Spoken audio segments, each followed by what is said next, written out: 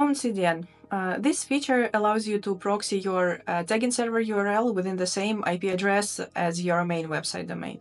Uh, the key benefit of this feature is that it helps you to prolong cookie lifetime in Safari and Firefox. So uh, currently browsers uh, with ITP started to reduce the lifetime of first-party cookies that were set from the domains that do not match the IP address of your main website domain. And so basically to overcome this challenge, uh, Stape offers uh, own CDN feature. Uh, let me show you how to configure it. Uh, the first step is to add a custom domain inside your Stape admin. I already have my like standard custom domain added, so I would need to add a new one.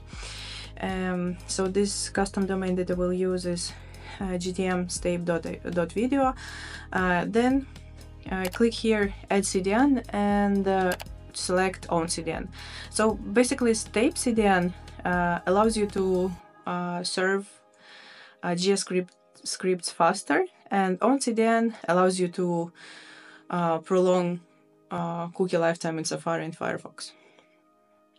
Uh, once you've selected uh, CDN type and added your custom domain, you will see the DNS records that you need to add.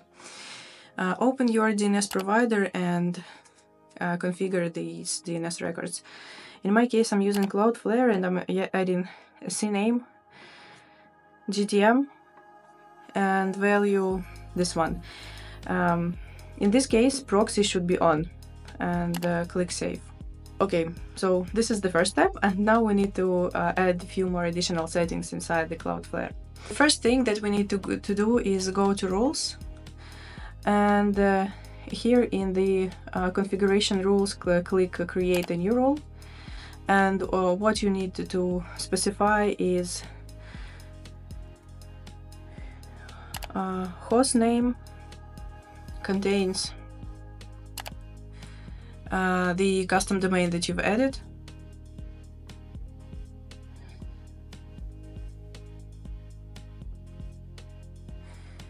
And then you need to uh, scroll down to um, SSL option, click add, and here set to full.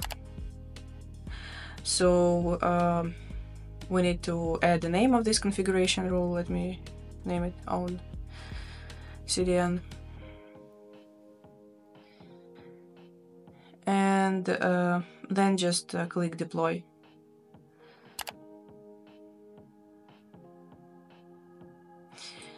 Um, now we need to go to transformation rules. And here select modify request header and again click create new role. Um, here we need to use a custom filter expression and again select host name contains um, your custom domain. And then uh, you need to add here set static.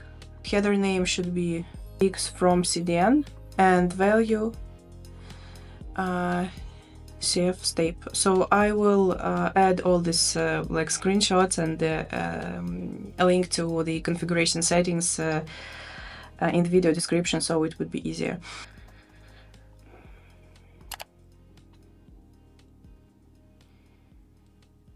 Okay, added. Uh, now we need to go to cache rules and again create a new rule, add a name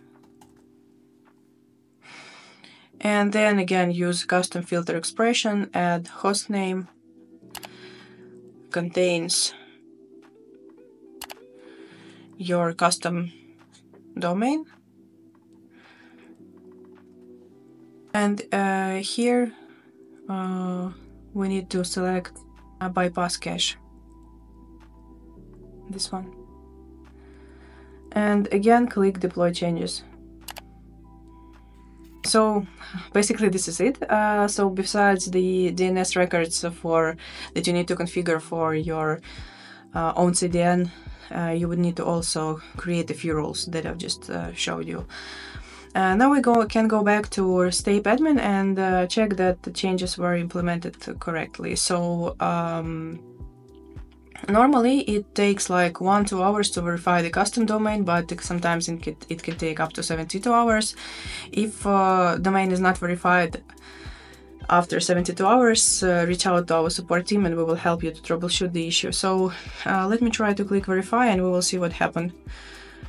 As you can see here, the verification it takes some time, uh, but uh, yeah, let me let me refresh again and maybe it will work now. Um, yeah, so uh, basically this is it for configuring own CDN. Uh, my domain is, cast, is currently verifying, so I think I need to wait like a little bit more to show that uh, the configuration was done correctly. Um, yeah. Uh, hope you hope that this video will help you to configure own CDN and uh, thank you for watching and see you in the next video.